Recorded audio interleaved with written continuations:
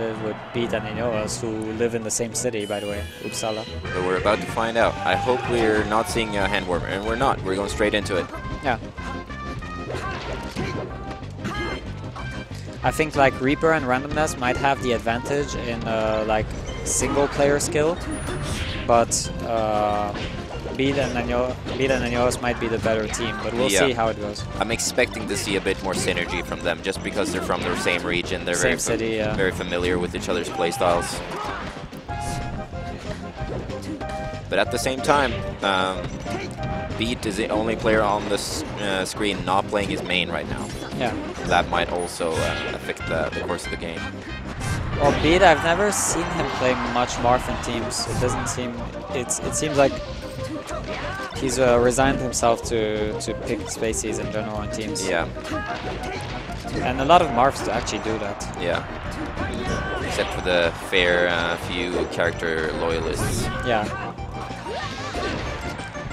I was surprised uh, that uh, Beat was able to make it back there.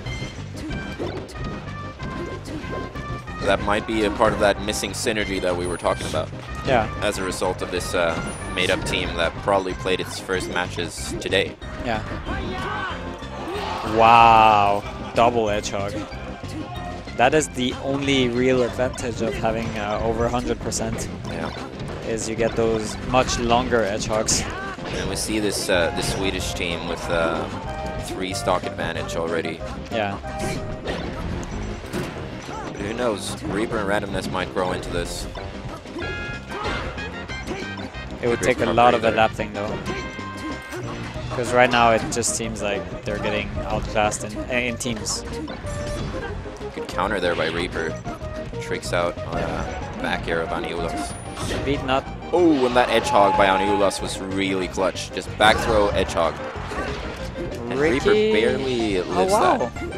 was Ricky, worth Ricky is a math genius. Yeah. He knew that one character would die, the other would live.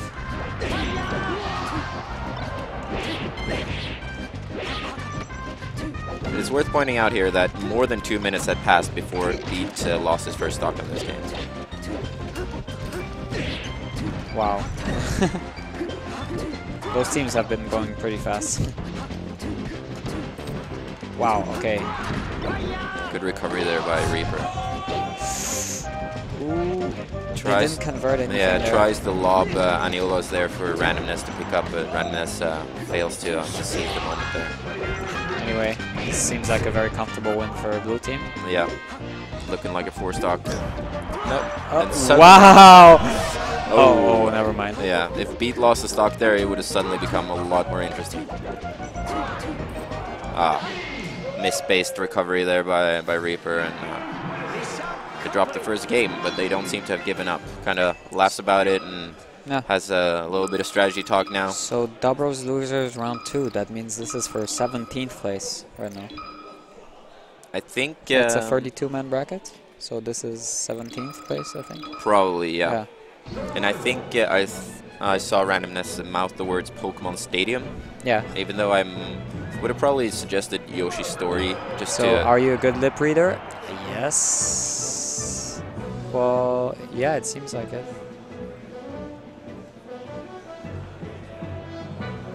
Press one if you thought that was impressive. Wow. Imperfect, the lip reader.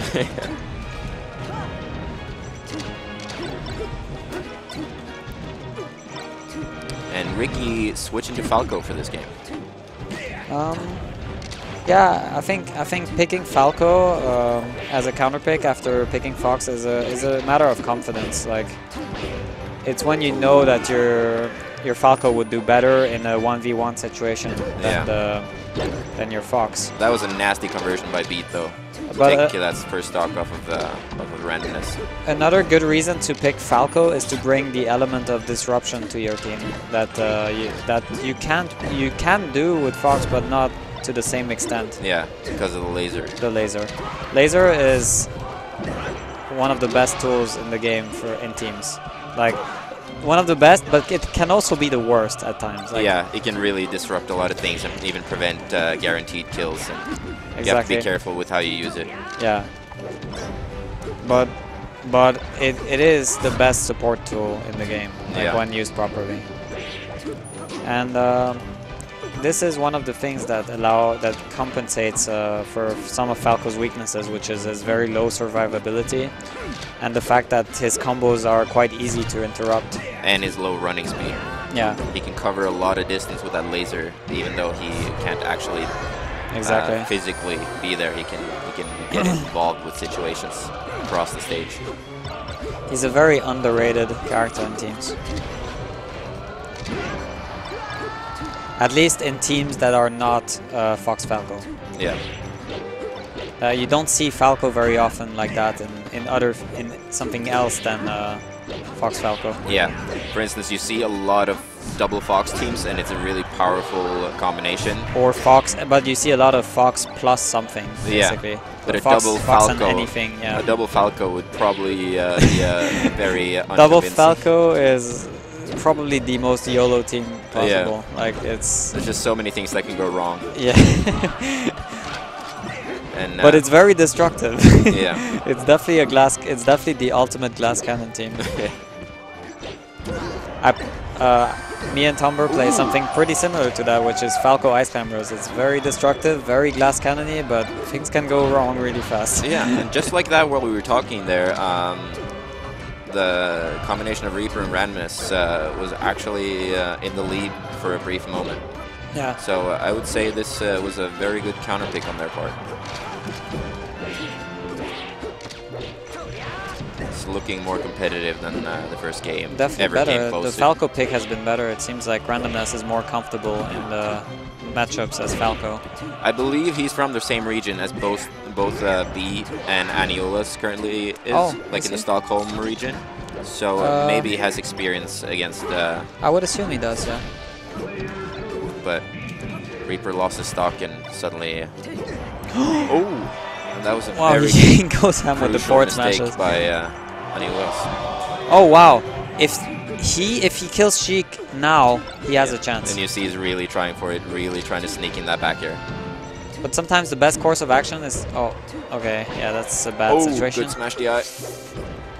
Yeah, that's about it. Oh, wow, and again, oh, smash oh, DI. and that sneaky shorten. That's dead. Yeah. But that double laser from the ledge when Fox is standing right there is so risky, and he Yeah. really got punished hard for it there. Double laser from the edge is just dangerous. Well, not when the opponent's on the other side Yeah, of, yeah, of course, the of course, screen, but, but- uh, when the Fox is standing right there, Well, in v two situation, Yeah. it's suicidal, almost suicidal. I mean, if if one of the two characters is not gonna hit you, the, the other one will. So it's just very dangerous to do. but it looks like we have a best of five, so they are going to get one more crack at it. Yeah. Well, game two was a lot more competitive than game one, so if uh, this trend continues, we might see um, Reaper and Randomness take their first game. They were definitely making some good adjustments uh, outside of picking Falco. Okay. Nice. Reaper getting a little worked by Beat there. Beat being a Marth main himself, he seems to uh, Know how to play against yeah, Marth. to Absolutely. understand Marth's uh, shortcomings. And uh, Randomness did really well there to, uh, to allow Reaper to recover. Marth off stage and Beat doing a really good job keeping the Falco busy. So that Falco can't save Reaper. which he did just uh, moments earlier. But yeah. But this Reaper time. got sent off again. UGS Light, if we can call them that, is uh, two stocks up. As I say that, it becomes one stock up. That's pretty close game still. Yeah. Aniolas uh, tanking pretty convincingly right now.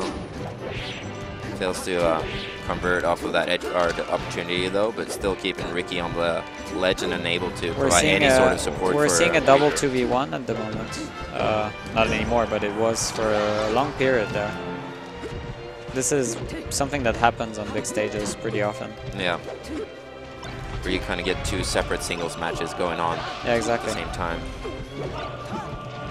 It takes it, um, but one of the skills of teams is really being able to keep an eye on what's happening outside of uh, your zone, basically. and and knowing when it's time to give up on this combo you were doing on your team on on the opponent.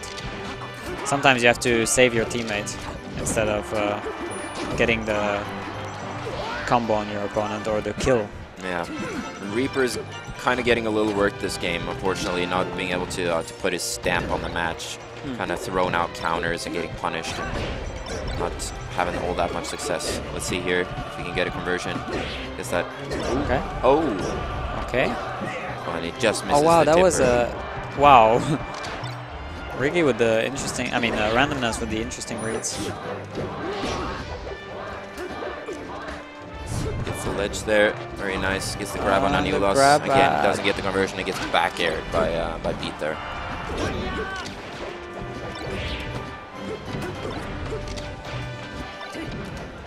Okay, Rick, randomness off stage. Wow, perfectly. Okay, spaced perfectly out of the edge guard, but he still died right after. Yeah. And this looks pretty hopeless for red team. Yeah. And we see the positive evolution uh, that we saw in their game last game is quickly, quickly coming to an end in this game.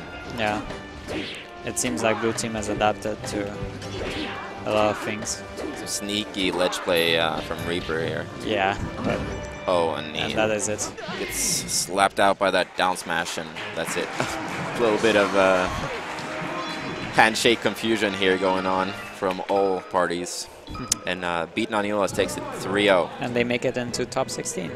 I um, wouldn't be surprised if they actually make it to top 8. It depends on... Uh, yeah, they can do it. Uh,